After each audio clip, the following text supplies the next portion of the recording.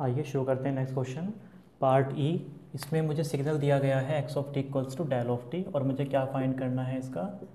Fourier transform मुझे find करना है। ठीक है?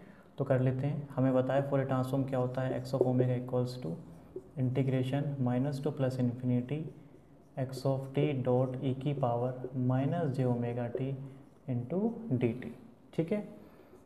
वैल्यू पुट कर देते हैं। माइनस से plus infinity x of t की जगह क्या पुट कर दिया मैंने? डेल ऑफ़ टी ई की power minus j omega t into d t ठीक है? सबसे पहले मैं यहाँ पर क्या अप्लाई करूँगा? मल्टीप्लिकेशन प्रॉपर्टी अप्लाई करूँगा। ठीक है? तो मैं इसको लिख सकता हूँ। माइनस से इन्फिनिटी से plus infinity del of t into d t और मैंने यहाँ पे क्या किया? मल्टीप्लिकेशन प्रॉपर्टी यूज़ की है इम्पल सिग्नल के लिए। ठीक है? मल्टीप्लिकेशन प्रॉपर्टी क्या कहती है? कि अगर सिग्नल एक्स ऑफ़ टी की मल्टीप्लाई मैंने डेल ऑफ़ टी के साथ किया तो क्या होगा? उस सिग्नल में टी की जगह ज़ीरो पुट कर दूँगा मैं। X of zero into del of t तो यहाँ पर impulse t equal to zero apply कर रही है। यहाँ पे मैंने टी की वैल्यू ज़ीरो पुट की। तो ये फैक्टर क्या बन गया? पूरा फैक्टर वन बन गया।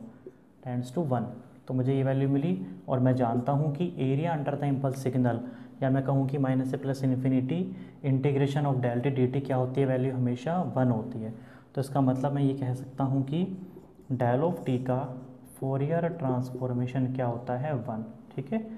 तो अगर अब इसको प्लॉट करूँगा, इसकी मैग्नीट्यूड वैल्यू तो वन ही आएगी। डीसी सिग्नल है माइनस से प्लस इन्फिनिटी वेरी करेगा ओमेगा की वैल्यू पर, क्योंकि ओमेगा से क्या आया? ये इंडिपेंडेंट तो उसको मैं इसका मैग्नीट्यूड प्लॉट करूँगा तो ये मुझे वैल्यू मिलेगी और फ़ेज़ करूँगा तो ज़ीरो मिल जाएगा। दिस इज़ ओमेगा और ये इसका मैं मैग्नीट्यूड कह सकता हूँ, ठीक है?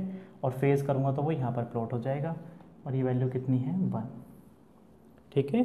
For all values of omega value पूरे transform of del of t is one ठीक है? क्लियर तो नेक्स्ट वीडियो में नेक्स्ट क्वेश्चन शुरू करते हैं। Thanks for watching this video